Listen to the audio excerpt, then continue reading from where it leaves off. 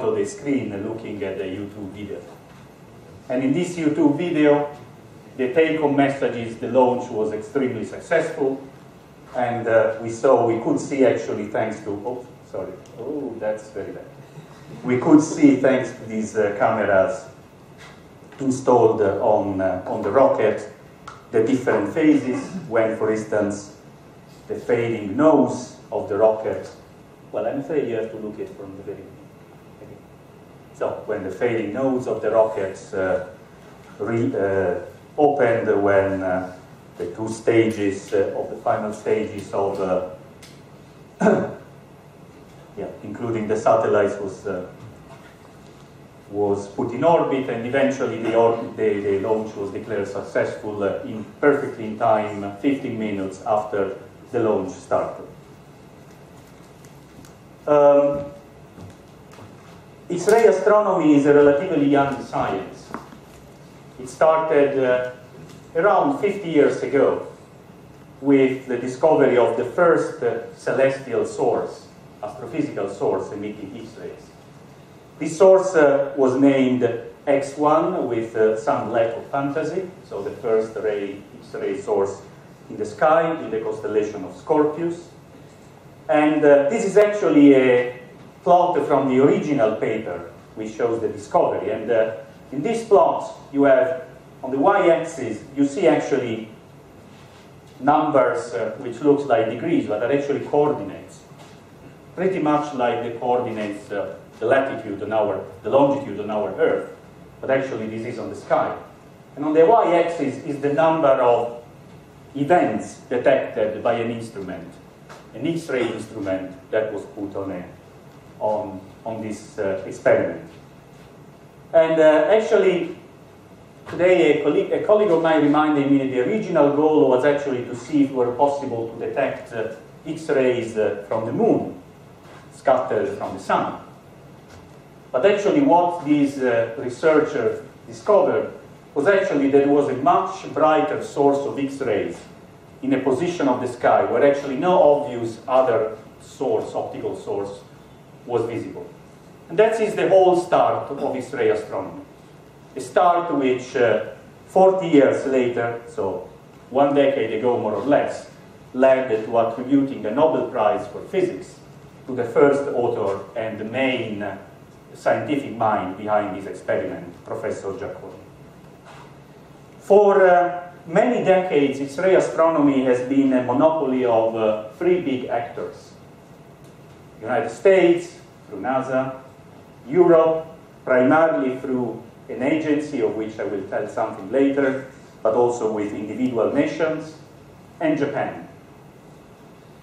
Uh, the situation is now radically different, and the reason why I am a Sicilian, I'm talking in front of an Indian audience of a Japanese mission, is not by chance. It's due to the fact that X-ray astronomy is experiencing a, sort of Asian spring as I call it in analogy to spring in other domain of human life, which happened recently in uh, Africa and uh, other parts of Asia. So nowadays, it's no longer true that there are only three actors dominating the scene.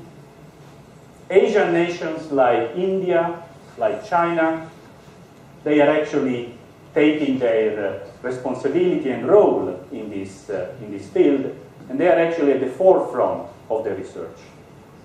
The next, uh, well, the four, next four X-ray missions that have been launched or will be launched over the past six months and the next year, they have all based, they're all based entirely or primarily in Asia.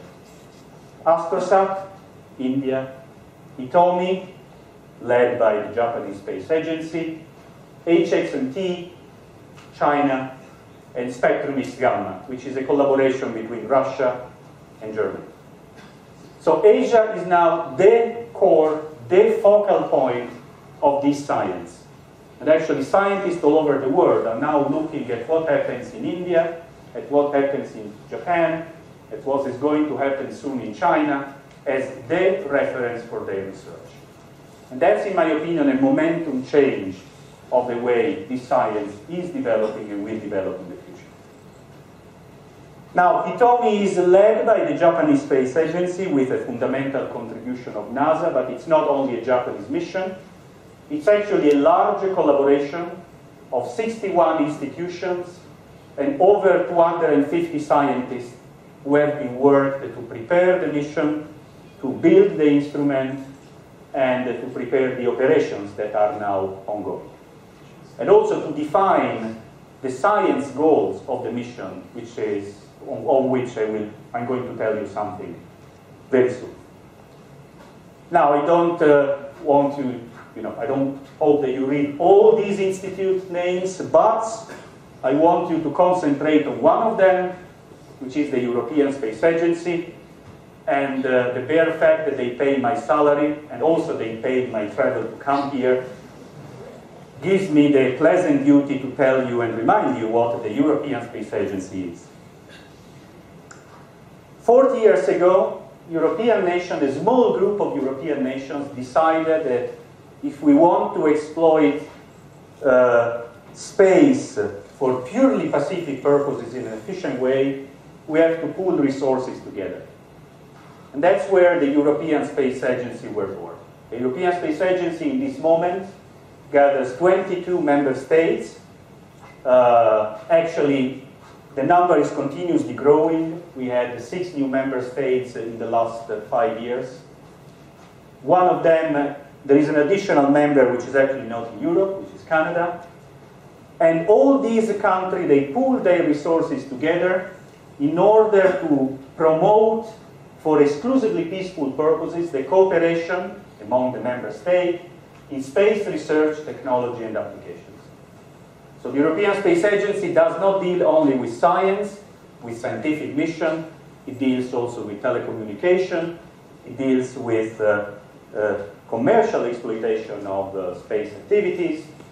So it's actually a very wide uh, range agency. But you know, don't worry, I'm not going to talk about primarily about money today.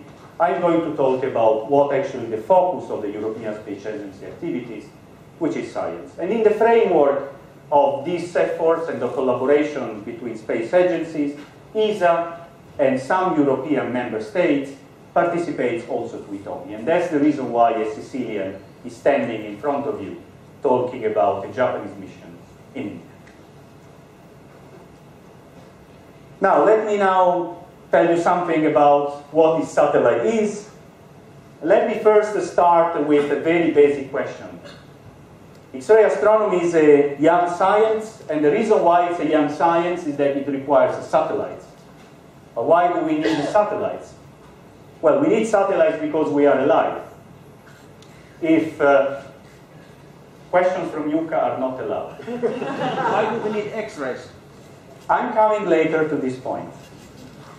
So we need satellites because fortunately for us, or maybe not, maybe we would have developed in a different and more beautiful way, but uh, fortunately for us, the atmosphere blocks the X-rays. So we don't see on ground X-rays coming from celestial sources. So if we want to measure X-rays, we have to send satellites in space. But then, uh, and so that's our satellites, this is Hitomi, Hitomi is uh, a 2.7 tons machine. It's uh, 14 meters long, like a big track. It's 9 meter wide. These uh, two wings that you see extended are the solar panels, which collect light from the sun and powers 3,500 watts batteries on board. And these batteries powers a series of uh, systems, scientific systems, that we use in order to make scientific measurements. We have teles four telescopes, and on the focal plane of each of these telescopes, there is a different instrument. And the reason why we want to have different instruments is that each instrument is specialized to perform a certain kind of X-ray measurement. And some of the instruments that Hitomi contains are the most advanced instruments in their kind ever flown.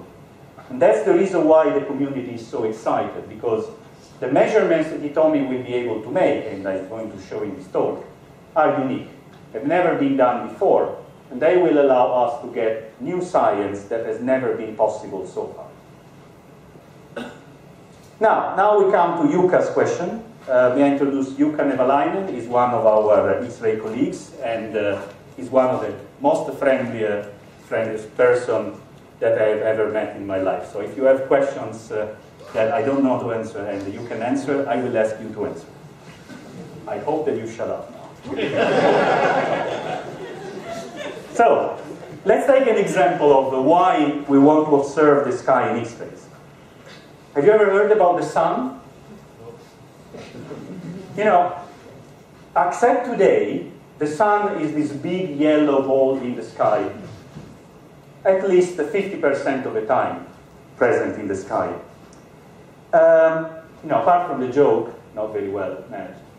Uh, the sun is looks to us as a sort of yellowish ball, and we know that this, uh, the sun, the surface that we see with our eyes of the sun, has a temperature of the order, it's, it's gas, it's hot gas, with a temperature of the order of 6,000 more or less Kelvin.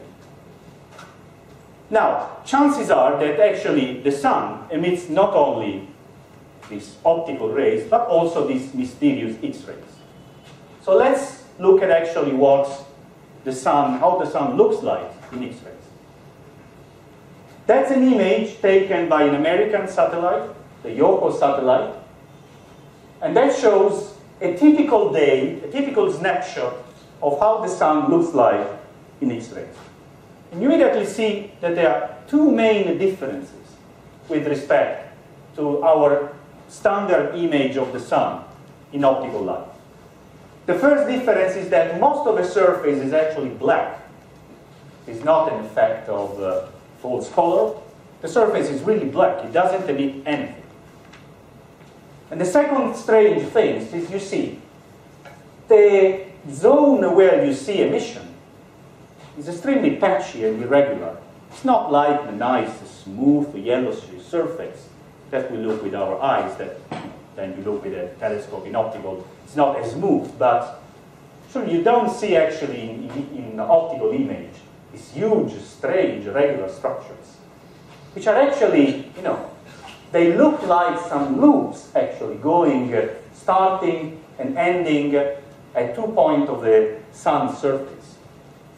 Now the funny thing is that if scientists can measure, and they can, the temperature of the gas responsible for this loop, that's one million degrees. And I told you, hmm, that's interesting. But the surface of the sun was 6,000 degrees.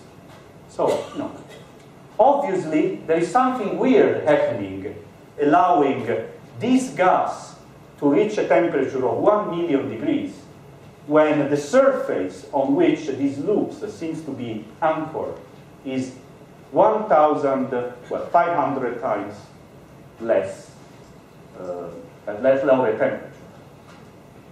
That's another example of uh, the difference between looking at the sky in the optical and in X-rays. This is Jupiter, planet, that's the image in the optical, and that's the image in X-rays, where actually we see only small regions close to the poles, where actually something happens, but the rest of the surface is completely black. So in a nutshell, the reason why we want to look at the sky in X-rays is that when you look at the sources emitting X-rays, your image of the sky change completely. So it is as if we would be looking at a different universe.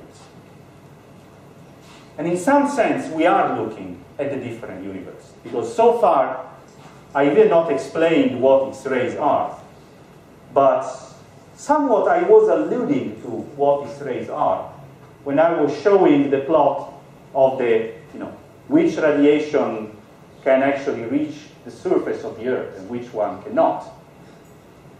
X-rays, the visible light, as well as the radio, as well as the gamma rays, they are all forms of electromagnetic radiation. They are waves traveling through space and carrying energy through space. And from the physical point of view, the only difference between an X-ray light and an optical light is the distance between two consecutive peaks of this wave, a quantity that we call wave. When we go to X-rays with respect to the visible light, the distance between uh, these two peaks becomes short, and we call this distance wavelength. Now, physicists characterize these waves uh, using different quantities. They use the wavelength, the distance between the peaks. They use a quantity which is called the frequency, which is actually uh, the inverse of the time uh, between uh, the passage of two consecutive peaks, or they use energy. These are degenerate ways of describe, ways of describing a wave. Because actually, wavelength, frequency, and energy, they all describe uniquely the, the, the electromagnetic type of electromagnetic waves. Otherwise stated, an X-ray light has a certain wavelength, or I can say has a certain frequency, or I can say has a certain energy. And X-rays have shorter wavelengths, higher frequency, and higher energy. Now, energy is a very interesting concept, but we can translate actually in something which is more uh, immediate to understand for our daily experience, which is, of, for instance, the temperature of the gas. The gas, I can convert the energy associated to these uh, waves of light to the temperature that a certain ball of gas needs to have in order to emit waves at this frequency, at this energy. For instance, I told you the sun is a, a yellowish ball. So it emits from the surface radiation which is more or less of a yellow color. Yellow color is here and corresponds to gas with temperatures of the order of 6000 Kelvin. If I want the same gas, well, actually not exactly the same, but if I want some gas to produce X-rays, I have to increase his temperature up to several millions of degrees. And actually, it's just what I showed you with this loop emitting X-rays in the sun. They emit X-rays because they have a temperature of million degrees. Or I can use another way of expressing the same concept, which is maybe not terribly visible. For instance, I can express the energy of a wave in terms of the velocity that an electron has, you know, the, a velocity that an electron with that energy has. And if I consider the range of the electromagnetic spectrum that Hitomi is able to cover, it corresponds to the energy that an electron has when it goes from 1% to 50% of the velocity of light, which as you know is the largest possible velocity that any physical phenomenon can have, and any information can be transmitted. So that's the band where, so that's the range of physical phenomena of energies, temperature, and velocities that Hitomi is probing. Hitomi probes physical phenomena where gas has million degrees, where particles move with velocities which are a not negligible fraction of the speed of light. And this allows us to see the universe in a completely different way. Yes, thank you. Yeah, yeah. Right. So I have to use two. Um, ah, uh, uh, that's a good idea. Thank you. Um, yes, Oh, yes. But with Hitomi, we want to do something, you know, the strength, one of the strength of Hitomi is that we're also able to use X-rays to measure not only the temperature of the gas emitting the uh, X-ray radiation, but actually to make much more accurate measurements of other quantities of the gas in the universe, like the density or the chemical composition. And the reason why this is possible is based on a concept that we like calling spectroscopy. Now, a spectrum is simply, in science in general, not only in astronomy, a distribution of, of amount of light that we see or the amount of energy that we detect as a function of frequency or energy or wavelength. And uh, you know, if we approximate or consider a nucleus as a structure where, sorry, an atom where the electrons are allowed only to uh, stay on certain uh, discrete levels, as we know it happens. So electrons in an atom are allowed not to have whatever available energy, but only a certain discrete number of energies. When an electron goes from a higher energy level E2 to a lower energy level E1, losing energy, it emits a photon of light, so a basic element of light, of, light, of light, whose energy is equal to the difference between the higher level and the lower level. That's basic concept of you know, atomic physics.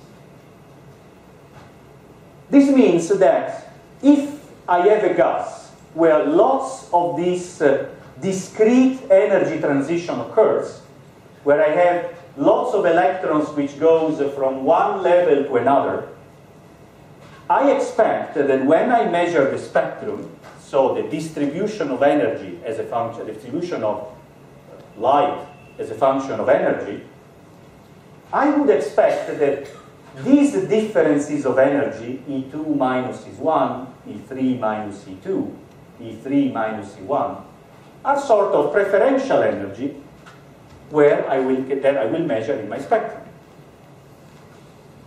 And that's actually an example of a real X-ray spectrum which has been measured long ago. Long ago means uh, 10 years ago with an instrument on board of an American US satellite called Chandra, named this way in honor of the Indian astronomer and astrophysicist Chandrasekhar. So this is a real plot from a science paper. So a tool instrument uh, tool uh, for professional astronomers. In this plot, the y, the x-axis, so on this axis we show wavelength. So the wavelength of the incoming detected light by the detector. And on the y-axis, we measure how many photons, how much light we detect in this star AB Doradus. One star, cool star, one of millions of stars in our galaxy. And you see that it happens exactly what I, why I anticipated. You know, the spectrum has a sort of uh, continuous, continuum pedestal, but then a specific energy you see peaks. And these peaks corresponds to the difference in energies between transitions in an atom. The nice thing is that these energy differences depend on the element. And actually you see in this plot the elements and their uh, ionization state, so how many electrons the atoms emitting this line have, you see them labeled. You see this tiny line is due to nitrogen, uh, these tiny other tiny lines to oxygen 7. Oxygen 7 means oxygen so ionized that only one electron is left. This line is uh, oxygen 8, so two electrons are left, one electron is left. You see iron, neon, manganese. So these lines in itself are telling us which elements constitute the gas emitting the plasma. You may say, well, why is it interesting? You know, the gas is gas, no? You know, it's like the air that we breathe, you know. We, we know which elements they are in the air, yes. We know which elements they are in the air on the Earth. But the composition of the gas in an arbitrary region of the universe does not need to be, and it is not the same as on the Earth.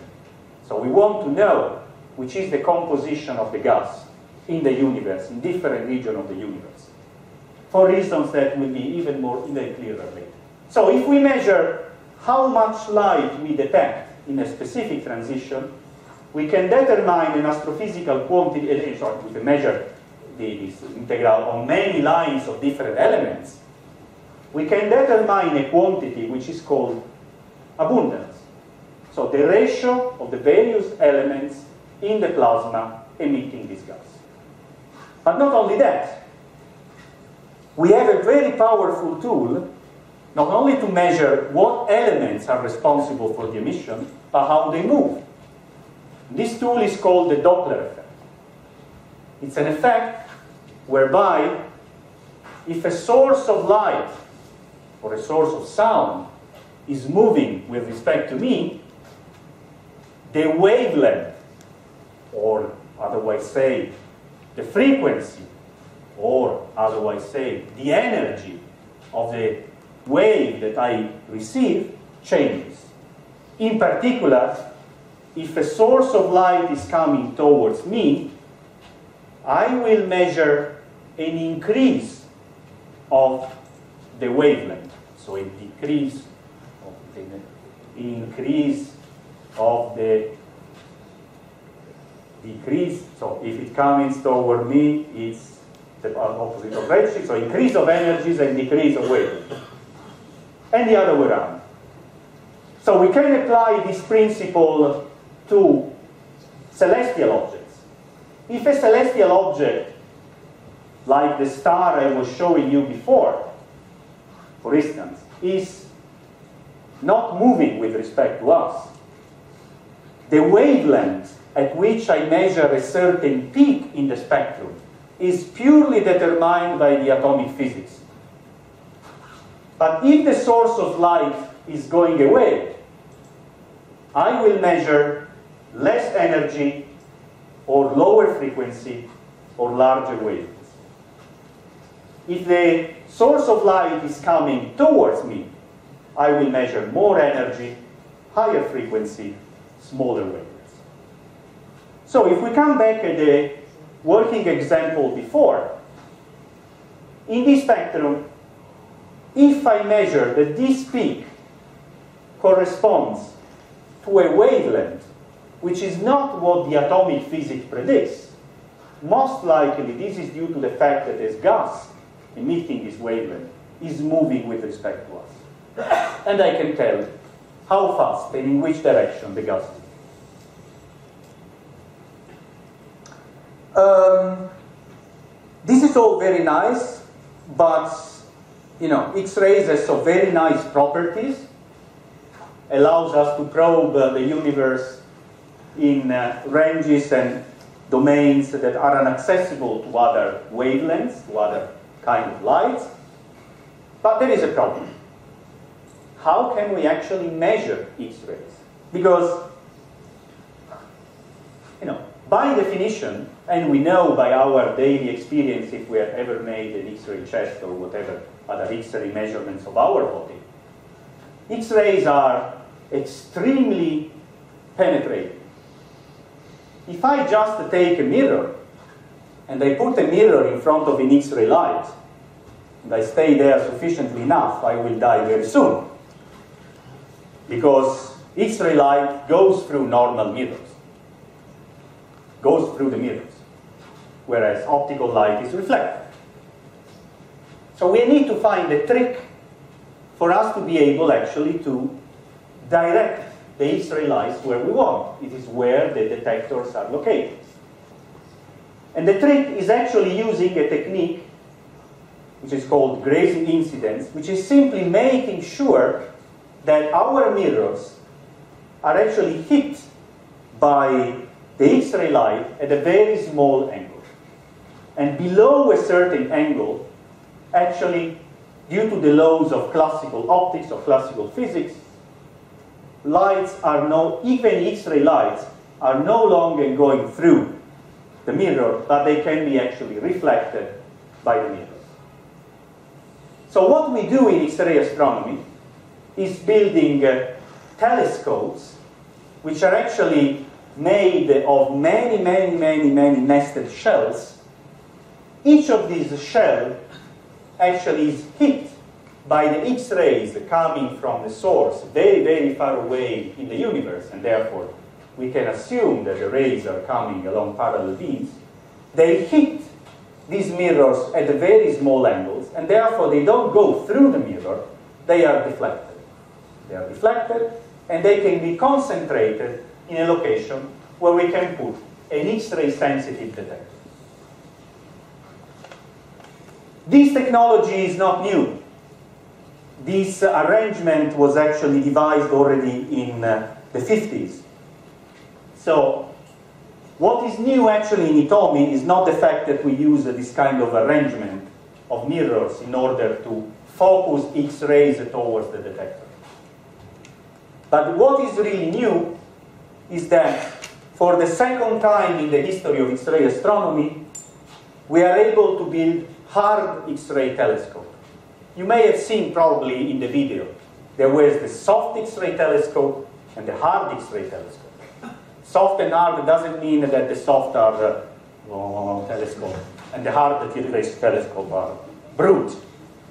This refers to the energy of the photons that can be focused. The hard X-ray telescope, they focus photons with a higher energy that we call conventionally harder.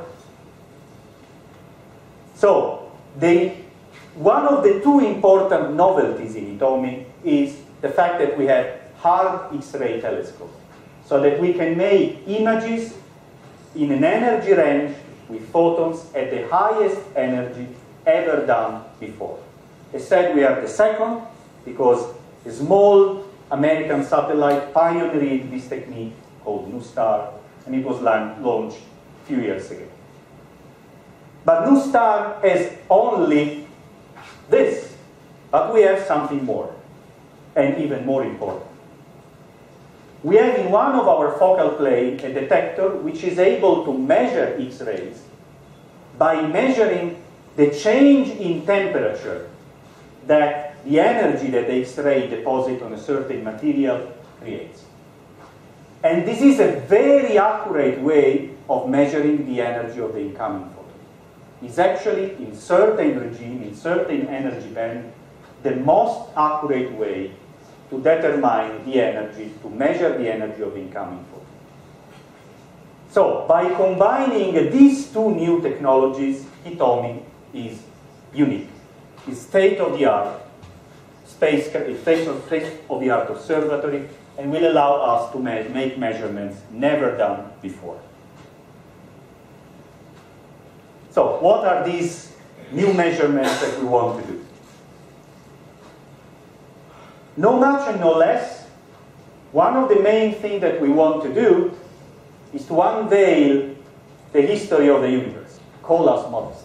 So this is one of the ends uh, representation of the history of the universe in a wine cup that one can find on the internet. Actually, this is from a press release of the Italian um, Astrophysical Institute, so it's not too bad.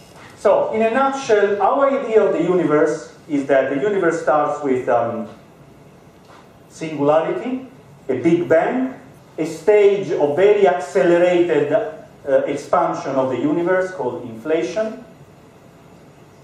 At the beginning, uh, matter and radiations were so tightly coupled together that we cannot actually see anything from the very early stage of a universe. But then, slowly, matter and light start decoupling, and we start being able to see actually light from the universe. But at the beginning, there is actually not much emitting light because there is no stars, no galaxies. So we have to wait a little bit, some uh, of the order of uh, 400 million years, before we get the first stars formed and the first stars start emitting light that we can observe. Then we wait another uh, 600 million years and we get the first galaxies. And then these galaxies evolve. And we arrive at the situation where we are now, where there are planets uh, in, around the star, our own galaxies, many galaxies surrounding it. You know, all this evolution is uh, essentially an attempt of building more and more complicated structure from an initially un, undifferentiated unit. Now, theoreticians believe that this evolution actually does not happen in a casual way, but it follows a certain pattern. These are not real images, these are simulations. And they show matter in a universe, in an ideal very big box of the universe, when the universe was very old, when the universe was less old, when the universe was very recent. And you see at the beginning, you see just a sort of confused, diffuse distribution of matter without any clear structure. But the more the universe evolved towards now, the more actually you see that the universe evolves, coalesces in some sense into filaments.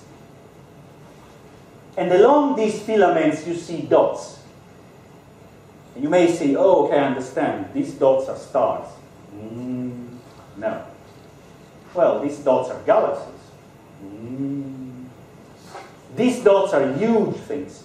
These dots are clusters of galaxies. So group of galaxies which are so close together that they feel the mutual influence through gravity. But actually, you know, what we see when we observe a galaxy is only just uh, a fraction of actually the whole matter which, which is present in that region of the universe. Cluster of galaxies are actually one of our best experimental tools to investigate matter that we can't see, which is, once again, with not Nothwig fantasy called dark matter. This is a image of a cluster of galaxies from a press release of a real paper, once again based on a Chandra result published a couple of years ago, which shows you what actually this cluster of galaxies are made of. They are the galaxies that we see in optical, by definition of cluster of galaxies. But then, and these galaxies are all these discrete white points that you see. they are also some foreground stars and some other things, but you know, many of them, or many of the white points in this plot are just galaxies, pretty much like ours, our Milky Way, maybe with a different shape, but you know, essentially they are a collection of stars living together, gravitationally bound together. But then there are other components in a cluster of galaxies. You see this colorful blob, they represent distribution of other matter which is not in the galaxy, which is between or among the galaxies. The pink one is visible. Is visible in X-rays. So it's hot gas, million degrees, that we can measure. And this is another example of why we want to see the sky in X-rays as opposed to optical. If I would look at this region only in the optical, I would see only the individual galaxies. But if I look at X-rays, I realize that among the galaxies, there is lots of hot gas, which is actually in mass a much more important component. But there is more than that. And the blue is actually matter that we don't even see. We know that it's there because we know that we can calculate the gravitational effect of this matter on the galaxies and on the gas that we see. But we don't have any direct way of measuring it. So, take-home message here is that, well, anyway, one of the most important components when we observe a cluster of galaxies is hot gas. That's what we expect to observe in, with Hitomi of one of these big ball of gas, blobs of gas in a cluster of galaxies. Once again, this is a spectrum, here is the energy, using the funny units that X-ray astronomy like to use, which is kilo electron volts. But you know, kilo electron volts is just the units. You could imagine here there could be wavelength, uh, there could be energy, uh, sorry, there could be energy in another units, or there could be frequency. You know, just a matter of units. And on the y-axis, just the quantity of light that we expect to measure. And you know, you've already seen a plot like this. When I've shown you the working tool of an X-ray astronomer, the spectrum taken by Chandra of a star, we see once again lots of lines. And each of these lines corresponds to a given element. So we can tell about the gas in the galaxy cluster, the composition, the abundance, the temperature, the density. This is in itself already very important and interesting, but we can do something more with these data. We can constrain the evolution of the universe. Why? I showed you this galaxy cluster forms at the density and homogeneity of these filaments that I showed in the simulations. So if I can measure the mass in a cluster, and I can do these measurements on a large number of clusters, I have an observational constraint on the models which describe the evolution of the universe. So I can tell how actually the universe evolved to arrive to the present state. So I simply need to measure the mass. How do I measure the mass? I use X-ray astronomy. Because I can assume that the gas in this, uh, in this the, the, hot, the gas and the dark matter in the galaxy cluster is in equilibrium, in hydrostatic equilibrium, so essentially this means that it's uh, dynamically stable against the competing pressure of its own gravity and uh, the pressure of the, of the gas. So, and in order to calculate the mass within a certain radius, I have to apply a certain formula, which is the formula coming from the physics of the hydrostatic equilibrium, you know, even if you can't follow the detail of the formula, let me just highlight the three important elements. This formula is an equation, so it has the left-hand side and the right-hand side. The left-hand side is what we want to measure, the mass within a certain radius, which allows us to constrain the evolution model of a universe. On this side, there is the gas density, and the pressure of the gas due to its thermodynamics. Now, these two quantities can be measured in X-rays, and honestly, in order to measure them, you don't need Hitomi. You can do more or less with existing satellites. And in fact, what people do typically, if I'm wrong, correct me, since we don't know how to calculate this directly observationally, we assume that it doesn't exist. Well, assume some value for it. Oh, we assume some value. More or less arbitrary. If this is wrong, our calculation of the mass will be wrong, and our constraint on the evolution model of the universe will be wrong. And they are. At least I have to tell they are, otherwise Hitomi doesn't seem use But with Hitomi, we will have a way to determine this quantity.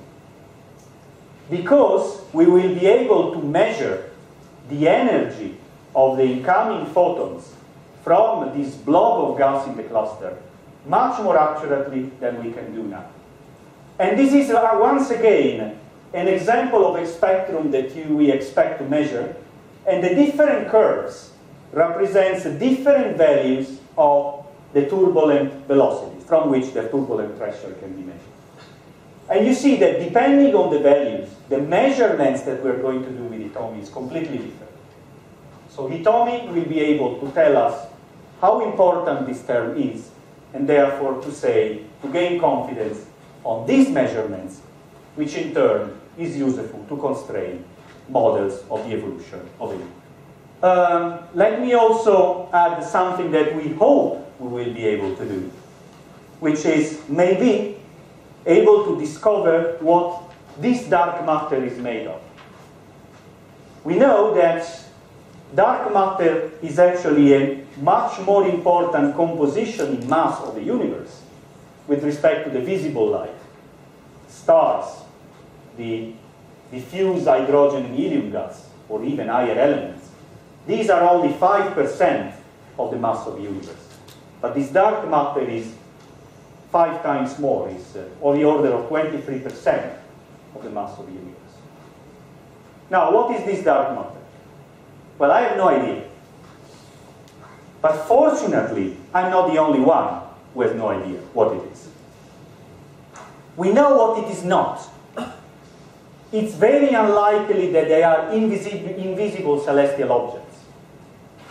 Because, not because these objects do not exist, and I will show you later that they do exist, but because they are not sufficient, they are not enough of these invisible celestial objects in the universe to make up the quantity of dark matter that we observe. Or there could be undetected particles, strange particles that we have not seen yet. They are predicted by models of uh, you know, particle, particle physics models, but we have not seen them yet. One of them is called the sterile neutrino. Sterile neutrino is a neutrino, is one of the particles, one of these particles of the uh, basic particle physics model. And uh, typically neutrinos are, uh, uh sense, they are uh, affected by two of the four basic forces of nature, gravitational and weak nuclear force. But sterile neutrinos are peculiar because they are only affected by gravity. We believe, uh, or some, part, some, some uh, versions of the models of particle physics believe that sterile neutrino exists. They have been searched, but not found yet. Now, the important thing is that if the sterile neutrino exists, when it decays, it produces, probably, X-rays. And X-rays exactly in the regime where Hitomi is most sensible. Now, this is a, once again a spectrum of a galaxy cluster. And you know, we look at galaxy cluster to search for these particles. Because I've just shown you that in uh, galaxy clusters there is lots of dark matter. So they are an obvious place to look for candidates of dark matter. And you once again recognize you know, lots of these nice lines. So, which is the lines corresponding to the sterile neutrino? One million dollars bet.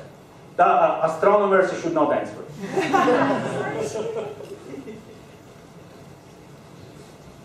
is this one? No. This one? No. No. No. No. No. Even this one, no is this tiny bit. That's why this measurement has never been possible in the past. Or it has been claimed, but it has been very controversial. Only Hitomi will be able to, to identify the energy of the incoming light in this region so accurately that if this line exists, we will be able to measure it. And if this will be measurement will be possible. This will be probably one of the major achievements of X-ray astronomy in the decade. But we don't know. Remember, this is what we expect to see. The spectra have not been seen yet. At least uh, have not been seen by you. Have you seen? okay. Let's go now to another fascinating topic, which is closer to my heart, black holes. Um, in, uh, in the second half of the 18th century, uh, a clergyman with a passion for geology started thinking uh, deeply about it, you know, a problem related to a very simple daily experience that we have on Earth. You know, we all know that if I want to send a rocket into space from the Earth, I have to, you know, to give this rocket a certain minimum velocity to escape the gravitational force, the gravitational field of the Earth. Uh, Newton, a couple of uh, decades earlier, had formulated the idea that maybe the light was also composed of small particles. He said, so this uh, clergyman, John Michell, he said, well, if this is true, I can in principle imagine that there is a star which is so massive that the velocity required for the light to escape from this, uh, from this star is so high that actually the light cannot escape from the velocity is so high that it's essentially impossible to reach it. And even calculated actually the diameter that such a star, that he called the dark star, should have. Now Michell was an extremely intuitive person. He even said, if these dark stars exist, they must reside in binary systems. So there must be a normal star emitting light as all the stars that we know in the optical sky. But within, but orbiting with it, with it, so together with it, there should be also one of these dark stars. And this is the place where we have to look for them.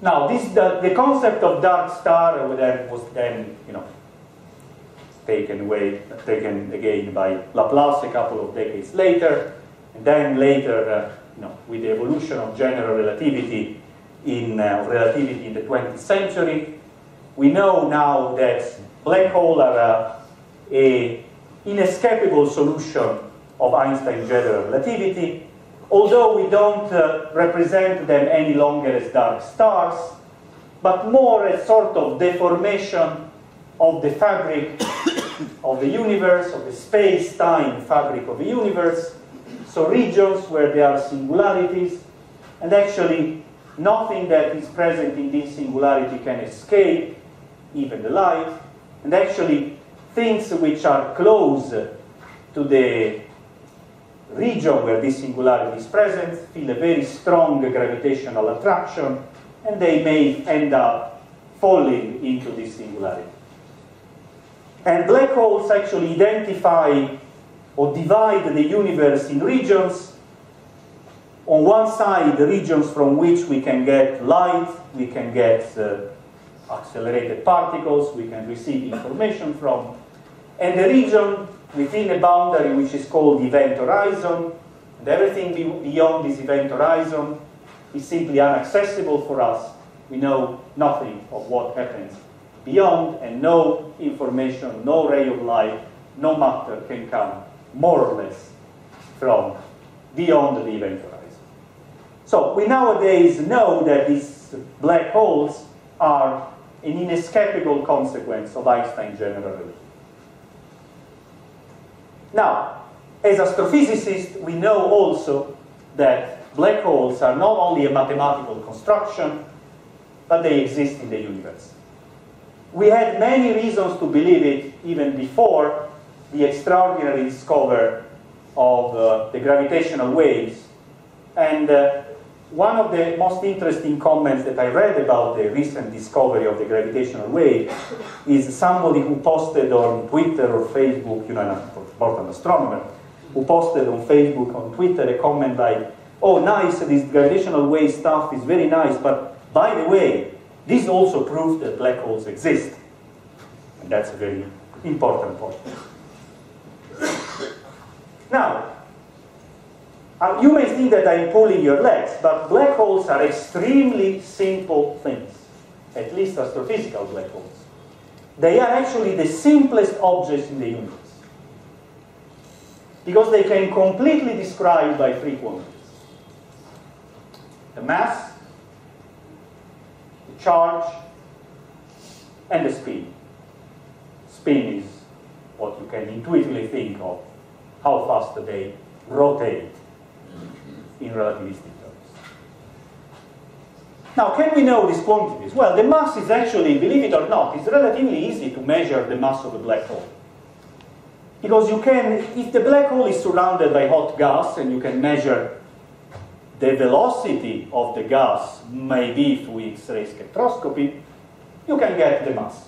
Pretty much the same way as you can measure the mass of the sun, knowing uh, the orbit of the planets surrounding. The charge, uh, I don't think that there is any clear way to measure it. I heard that maybe by measuring uh, this gravitational wave from collapsing black holes, we can have an idea if they are charged or not. But honestly, we have no idea how to measure the charge of a black hole. And there is no reason to believe that black holes have any charge. Universe is neutral on the average. Why should black holes be an exception? It remains the spin. And the spin is a quantity that we can measure only in X-rays. Only in X-rays. Now, how to find black holes? Well, black holes are present at the center of almost any galaxy. But some of the galaxies, they have a privilege. Not only they have a black hole, but this black hole is active. So this means it emits a quantity of light which is much beyond, much bigger than the quantity of light emitted by the star in the galaxy. And the reason is due to the fact that these black holes do not sit isolated at the center of the galaxies.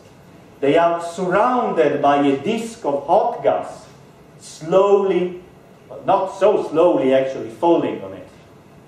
And that's what these videos represent.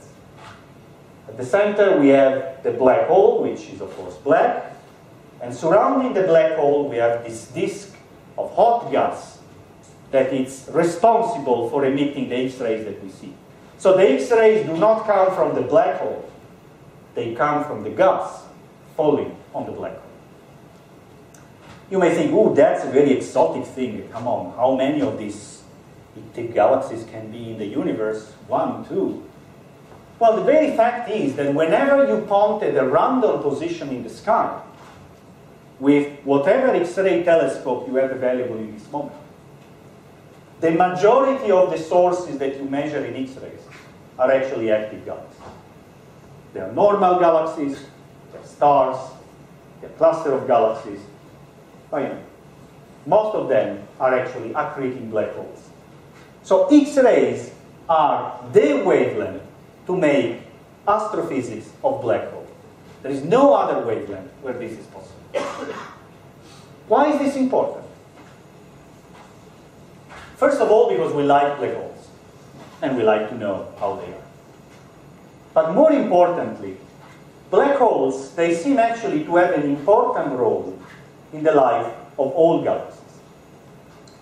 A black hole is a tiny, is a tiny thing. This is a representation of a galaxy a bit like ours, with a disk and a bulge on the scale of this galaxy, a black hole is as big as a DNA filament. Irrelevant. However, since a couple of decades, we know that if we plot the velocity of stars in the bulge of a galaxy against the black hole mass at the center of the galaxy, these quantities are very well correlated. So, somewhat, there is a tiny bit, it is like a tiny bit in my cells, which is actually deciding how I have to shape. How is it possible that the stars in the bulge of a huge galaxy knows about what happens in a tiny bit at the center? We believe that the reason is one of the possibilities, not sure, but one of the possibilities are black hole winds. Once again, the word is misleading. These are not winds emitted by the black holes, but somewhat the energy of the matter, of the gas which is falling on the black hole, at some point is no longer used, uh, no longer lost in increasing the temperature, but is lost in creating a wind matter which is ejected at very high velocity from the vicinity of the black hole. And the energy of this gas is so strong that it can affect the host galaxies at years, light years distant from the black hole. That's an idea, an idea, an hypothesis. Can we test this hypothesis experimental. So in order to answer this question, let me make a small trick. This is another X-ray spectrum. Funny shape, but you know, you see here lines. Typical spectrum that we may observe with Athena in the future. Now let me make a small uh, funny joke. Let me rotate the spectrum. And now, what there were emission lines in the original spectrum, now they are lines in absorption. And this is actually you know, a bit of a joke, but it's actually what happens more or less in real life. In real life, if I have a hot gas, this hot gas emits a spectrum full of emission lines in X-rays, for instance. If actually I put this hot source in front of the, behind the region of cool gas, actually what I'm going to see is that the cool gas absorbs photons at the same energies where a hot gas was emitting lights. So I can actually use an X-ray spectrum not to probe the properties of the hot gas emitting lines, but to probe the property of this cool gas that is between us and the hot source. And that's the idea. The hot source is the matter very close to the black hole. The cooler gas is the wind. And what we measure is the absorption spectrum. And why is the absorption spectrum so important? So that's now the unveil the trick. This is the spectrum that we hope to observe of a black hole wind, so a wind in an AGN. And you see these nice absorption lines. So why is this important? Because in order to know if these winds are indeed uh, affecting the environment of the host galaxy, I need to measure the velocity of the gas, the density of the gas, and also where the wind was launched. All these quantities can be determined only through X-ray spectroscopy. So only these spectra, the atomic spectra, will be able to tell me if indeed winds coming from the accretion disk close to the black hole are responsible for this feedback is how we call this phenomenon that the black hole mass and velocity of the star are related.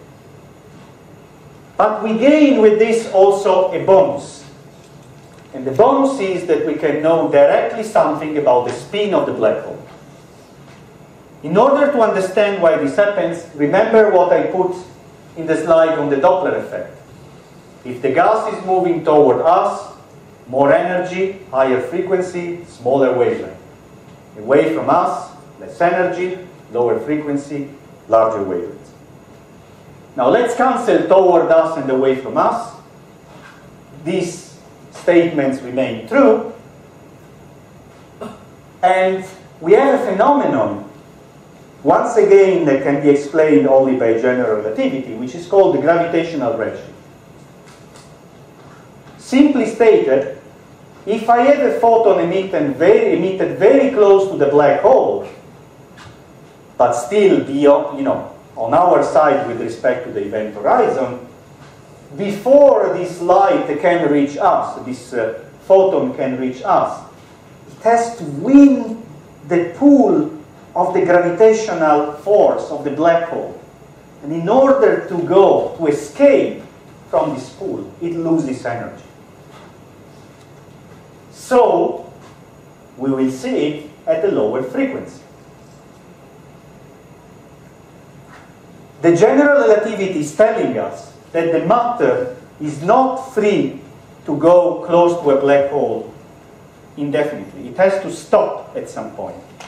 And where it stops depends on whether the black hole is spinning or not.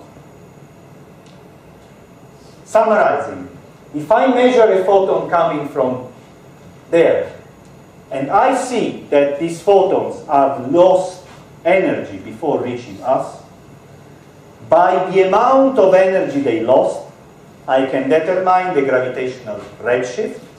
So I can know how close the matter can reach the black hole. So I can determine the speed. So in one shot, I know if black holes affect the host galaxy and a fundamental property of the black hole, which is the speed, which once again, I stress, all the X-rays measurements can provide you So I close my public talk here. I don't have much to say as a sort of conclusion, but the only thing I can say is that in this room there are 20 colleagues, maybe, and uh, there is none of them, maybe 30, there is none of them who is not looking forward at the Hitomi results and uh, believe that there will be a revolution in the history of uh, X-ray astronomy, together with AstroSat and together with the other missions that are being prepared here in Asia and that will shift the attention of the whole X-ray community and the X-ray astronomical community, the astronomical community to this part of the world. So with this, I thank you for your attention. Thank you.